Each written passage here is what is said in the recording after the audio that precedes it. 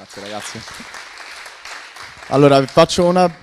Grazie mille. Come dicevo, ci penserò io a svegliarvi. Allora, vi faccio una piccola presentazione di chi sono al volo per farvi capire perché ho il diritto di dirvi che WordPress fa schifo. Eh, allora, sono uno sviluppatore full stack, e seguo il progetto di WordPress ormai da tanti anni, anche lo sviluppo, diciamo, eh, ci lavoro, faccio MVP per startup fondamentalmente dentro un, un acceleratore molto famoso di, della capitale e costruiamo dei piccoli prodotti di, da lancio per prendere poi finanziamenti e smontarli completamente e farli ricostruire da altri con altre tecnologie completamente diverse. Molto spesso questo avviene per un preconcetto o comunque sia per una peculiarità e per una cosa per cui è famosa WordPress. Cioè WordPress fa schifo, WordPress sucks, è quello che ci dicono altri sviluppatori. E molto spesso le cose additate come più sconvolgenti all'interno del sistema WordPress per proprio famose e notevoli per fare schifo sono la sicurezza, eh, abbiamo visto un video di Warfence ultimamente pubblicato su un attacco mostruoso che, con due linee di JavaScript che andavano a farsi un parsing di pasta e bin quindi fondamentalmente era un attacco mostruoso fatto da due linee di codice e vi dava accesso a una shell completa che avrebbe permesso di prendere possesso del server dove girava WordPress. Quindi sicurezza proprio, abbiamo visto quel video, siamo messi malissimo. Obsolescenza, ho visto tanti talk oggi parlare di per l'appunto retrocompatibilità un PHP 5.2, eh, database MySQL che a quanto pare è diventato uno dei peggiori database al mondo, eh, lento, non scalabile una user base poco tecnica, eh, qua questo purtroppo possiamo anche dire che sviluppatori WordPress eh, sappiamo che non è proprio un titolo cui, di cui ci si fa un vanto, ecco, io non vado in giro a dire ah sono uno sviluppatore WordPress, ma in realtà faccio quello, quindi... Però vi ho detto full stack, non vi ho detto WordPress. Poi una pochissima diffusione nell'enterprise, eh, nonostante abbiamo degli esempi, abbiamo visto oggi Nando e altre persone che lo sfruttano, abbiamo avuto Karim, adesso non so se è in sala, eh, però qualcuno dei suoi di crowd favorite che lavorano con dei big veramente nell'enterprise, ecco loro sono delle eccezioni, sono degli unicorni, non esiste gente che lavora nell'enterprise su WordPress, fa schifo. Poi eh, stanno ritardando mostruosamente queste REST API, eh, abbiamo visto che eh, insomma il mondo si muove lì, eh, front-end che macina API di un back-end e non si sa neanche dov'è, quindi perché siamo alla versione 4.4, ce le promettono dalla 4, ancora le abbiamo viste, io mh, ce n'ho bisogno, non posso più farne a meno. Eh, reposito ufficiale di plugin e temi, questo proprio alzo le mani, se qualcuno di voi si è trovato bene con il repository ufficiale me lo faccia sapere, eh, gli pago io la visita psicologica. E poi, eh, ma sinceramente c'è una mondezza incredibile, non ci sono filtri, lo sappiamo benissimo, soprattutto tra i plugin, sono, è quello il metodo di diffusione poi eh, che dà per, per l'appunto eh, possibilità da bug infiniti, sono le terze parti, eh, dei plugin vengono aggiornati da dieci anni. E poi SVN, cioè si può, si può gestire ancora un repository SVN dall'epoca di Git. Io mi trovo malissimo, eh, deployare insieme ai miei colleghi un plugin eh, sul repo di WordPress con SVN, eh, vi dico la verità, io ho smesso di farlo, cioè chiedo a loro di metterlo su, eh, io lavoro su Git e loro prendono e spostano su SVN. Quindi ci ho scritto che solo i dev capiranno la frustrazione perché posso capire che chi non sa cos'è SVN adesso ha un un attimo di blank, però vi posso assicurare che è una roba che non si usa più, neanche in IBM, che hanno dei sistemi mm, anni 80.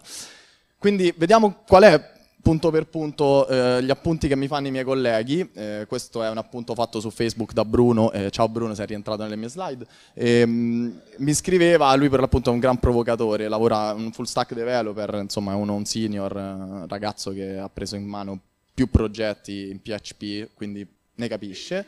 Ci faceva notare, lui è molto provocativo, mi tagga sempre nei post di WordPress eh, per insultarlo, e mi ha scritto per l'appunto, non ricordava che dentro questo database ci fosse un varchar 20 invece per indicare uno status invece che un init, eh, un int era molto più semplice secondo lui, meno risorse.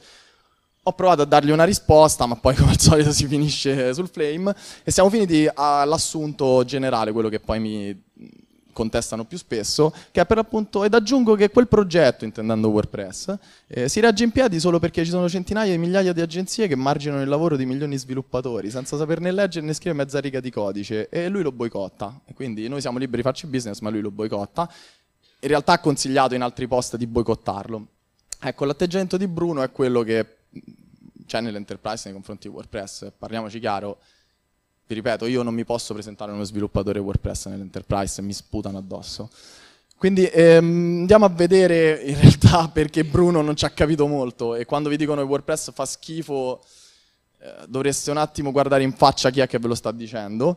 Eh, fondamentalmente le domande che io mi pongo sono ma questa gente conosce il progetto? Cioè sa di cosa si parla? Ha mai contribuito alla community? Sa come si scala su un progetto del genere? Nel senso che questo non è eh, un giochino che uno fa per se stesso e non è neanche una roba custom che si fa nell'enterprise straspecifica. Questa è una roba che deve permettere a persone che fondamentalmente non capiscono nulla di programmazione o magari ne vogliono capire, vogliono entrarci a piccoli passi, di permettere di pubblicare. Cioè, la mission di WordPress ti permette di pubblicare un sito internet. Eh, poi bene o male sta chi lo sviluppa insomma dietro e alla community che si crea. E voglio dire, la community è importante perché, ah, questa è una piccola citazione di Forbes, il creatore di Forbes, eh, che dice per l'appunto che è molto più facile darvi soluzioni a dei problemi quando in realtà i problemi non si conoscono. Eh, è vero, è semplicissimo. Ah, fai così, io avrei fatto questo. Sì, per carità, ma poi ti ci sei messo a farlo, hai ti sei scontrato con la dura realtà.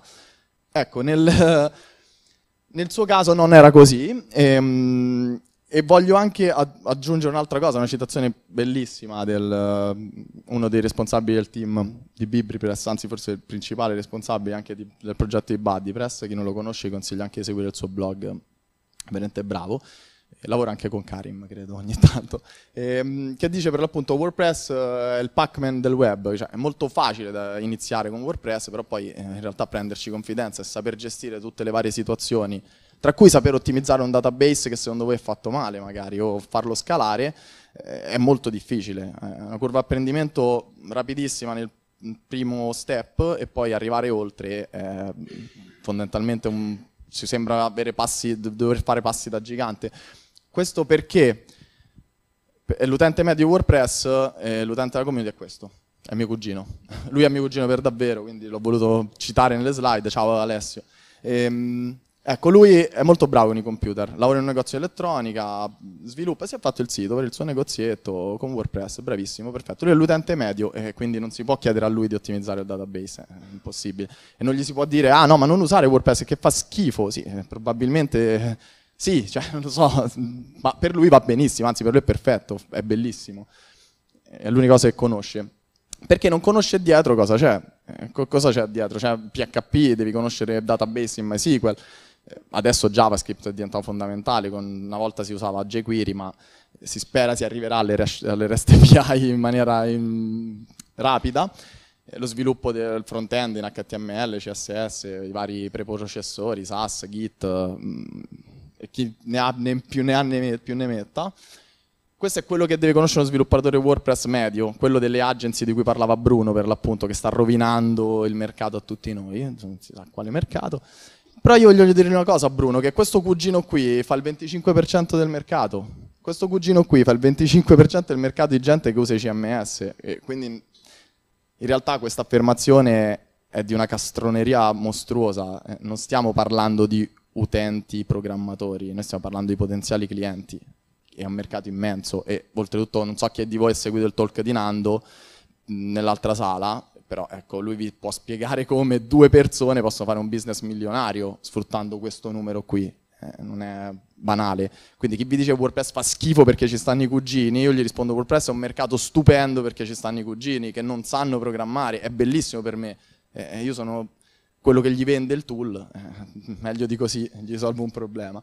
Poi quello che voi chiamate obsolescenza io chiamo stabilità. Abbiamo visto che in realtà, ecco, stamattina poi mi fa anche eh, piacere aver visto altri talk su questa linea, e soprattutto quello di Luca, che ringrazio, eh, voi la chiamate obsolescenza, eh, io la chiamo stabilità, ci sono dei trucchi per mettere a posto quella roba che a voi fa schifo, dovete solo un po' sbattervi voi, non potete chiedere a WordPress di abbattere la retrocompatibilità eh, che ha costruito, per me è solida, un, software che mi garantisce retrocompatibilità, un software solido, è un software che posso andare veramente all'enterprise a proporlo, perché sono quindi 12 anni, 13 anni che viene sviluppato, in 13 anni non ha mai perso un colpo nella sua versione precedente, continua a portarsi avanti, ecco forse PHP 5.2 ci ha un po' stufato, però tra due anni magari non lo vediamo più, non è che dobbiamo, cioè possiamo anche aspettare, eh, non dobbiamo correre per forza.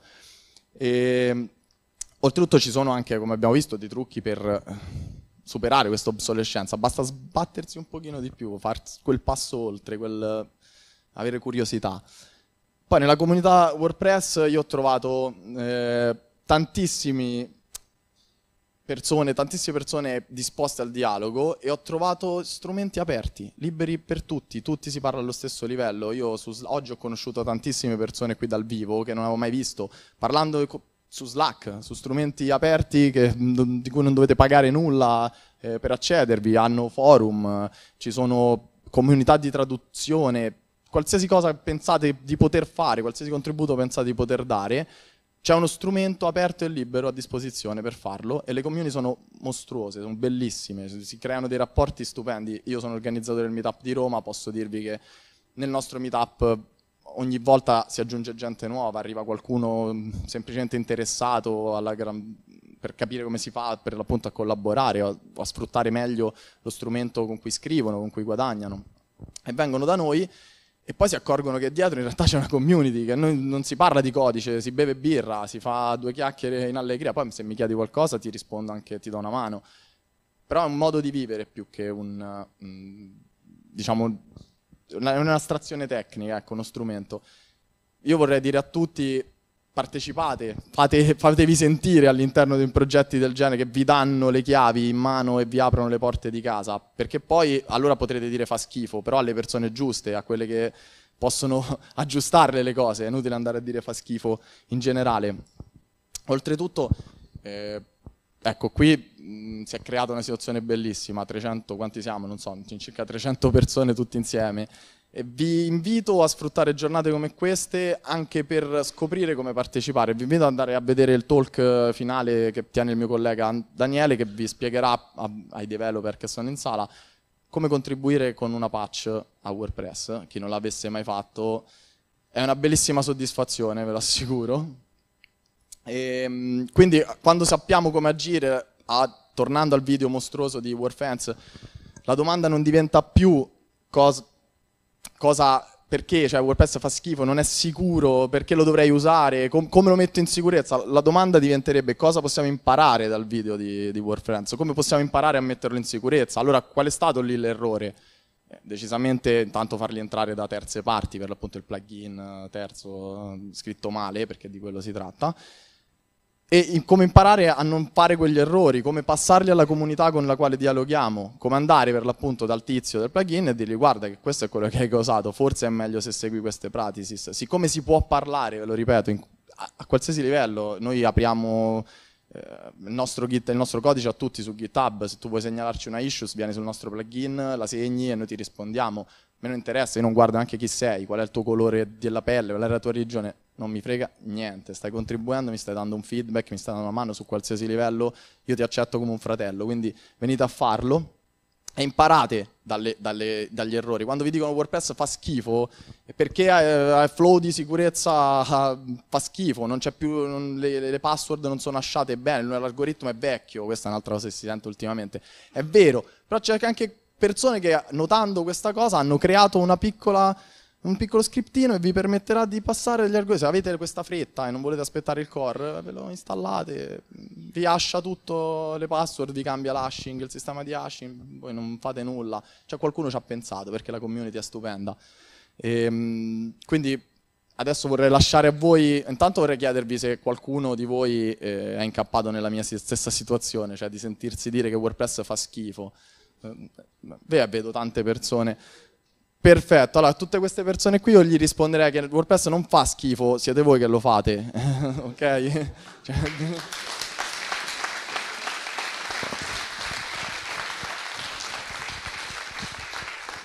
Se avete qualche domanda o qualche insulto, fate pure, eh, sono qui. sì. Ah, ce ne serve.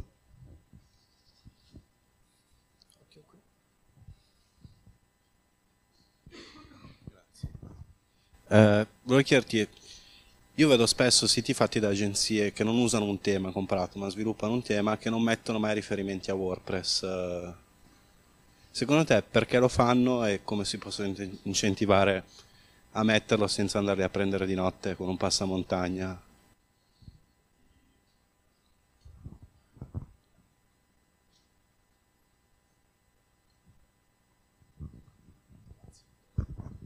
Allora, intanto bisogna capire eh, di che tipologia di siti parli. Se mi parli di una persona che se lo fa per suo personale... Vabbè, non c'è l'obbligo di mettere che ha fatto un WordPress. Eh? Cioè, nel senso, per la comunità sarebbe un bene, a noi ci piacerebbe, per carità, se tutti i siti li marchiassero, però anche lì, magari dall'aspetto sicurezza, qualcuno ha paura e pensa, ah, se ti faccio vedere che è WordPress, tu mi vai sul VP admin e mi fai in brute force, magari, ecco, queste sono piccole tare. Ti ripeto, eh, sta sempre a noi cercare di far contribuire le altre persone in queste piccole anche iniziative. Io, soprattutto su WordPress.com, mi sembra che non ti ha neanche permesso togliere eh, dal FO, perché loro danno il servizio, è gratis, e ovviamente sfrutti i loro server, mi sembra giusto che li paghi. Stessa cosa dovrebbe, ecco, forse di questo si potrebbe iniziare a discutere nella comunità, magari dal punto di vista di Jetpack. Cioè, se tu sfrutti la mia CDN, le mie cose, forse dovresti mettere un piccolo riferimento però poi il core, a parte ci sono tantissimi metodi per scoprire che cos'è, però se non devo essere io a raccontartelo, immagino. Eh, non essendoci un obbligo, nel mondo dell'open source è così. C'è anche gente che ribrandizza Linux, quindi insomma, e non lo dice. Altre domande?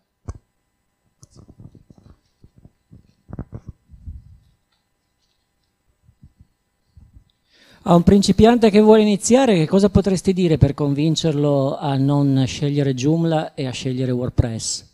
Adesso io sono arrivato adesso, per cui magari ne hai parlato prima, non lo so, perché eh, può, essere, può, essere, spontaneo eh, so, provare a, a fare un confronto.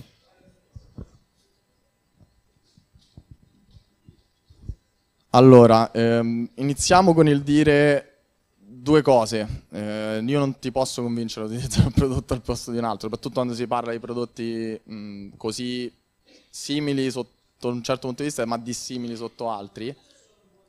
Sì, sì, no, non voglio, ti dico in generale, sì, anche io.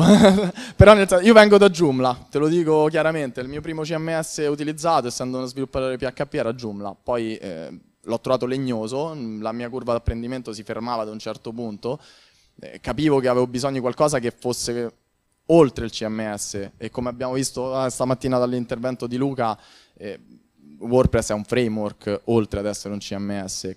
Quindi per uno che è un po' più orientato allo sviluppo e vuole imparare, lì hai la possibilità di farlo in maniera eh, corretta e diciamo dritta, mentre su Joomla devi già avere cioè un po' più difficile secondo me, ecco. Poi differenze vere e proprie per convincere una persona a utilizzarne una piuttosto che l'altra, ad esempio io gli apro la bacheca e quella la conoscono tutti, vado al cliente, non gli vado neanche a spiegare. È Joomla mi guarda un attimo perplesso, ecco. E poi c'è questa tendenza, in Italia non si sa perché si pensa che Joomla sia più professionale di WordPress, mentre all'estero è il contrario. E, bah, vabbè, e queste però sono cose. E poi la community. Ti posso dire che la community di Joomla non è così aperta come quella di WordPress. Eh, probabilmente anche dovuto alla diffusione del prodotto. Essendo un prodotto diffusissimo, avendoci dietro comunque una company che gli permette di eh, poi continuare a finanziarlo nel tempo, mentre Joomla è un'organizzazione un po' più su base volontaria e basta, forse anche il fatto che ha dietro un'azienda che riesce a sfruttare il prodotto e, e permetterti di mostrare come funziona all'interno dell'enterprise. Ecco, poi chi mi dice Joomla, eh, WordPress non è nell'enterprise, io dico vai a vedere wordpress.com, è fatto la stessa identica cosa, eh, tiene su non si sa quanti miliardi di siti, non è scalabile, boh, forse non sei tu che sei in grado di farlo scalare, e questa è, eh, quindi ti posso dare queste piccole motivazioni, poi se sei un wordpressiano sai perché lo ami, insomma. Finito? Grazie mille a tutti ragazzi.